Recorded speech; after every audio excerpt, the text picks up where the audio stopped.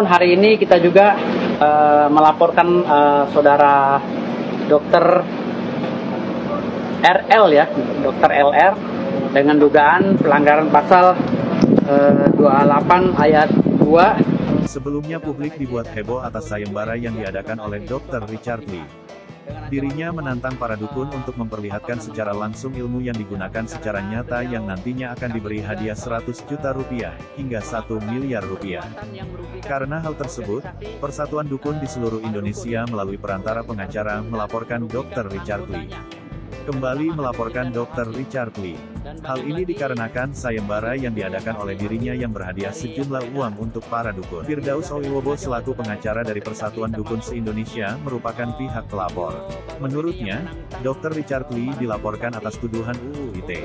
Hari ini kita juga melaporkan saudara Dr. RL Richard Lee ya, dengan dugaan pelanggaran pasal 28 ayat 2 Undang-Undang ITE dan pasal 27 ayat 3 Undang-Undang ITE, juga pasal 45A dengan ancaman hukuman 4 tahun dan 6 tahun.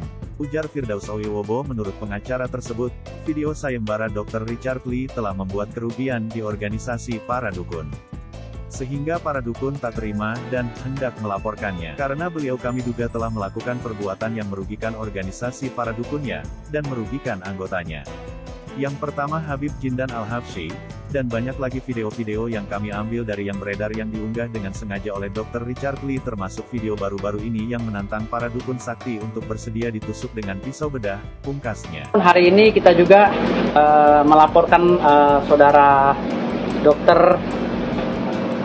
RL ya, dokter LR dengan dugaan pelanggaran pasal eh, 28 ayat 2 Undang-Undang ITE dan pasal 27 ayat 3 Undang-Undang ITE junto pasal 45A dengan ancaman hukuman eh, 4 tahun dan 6 tahun.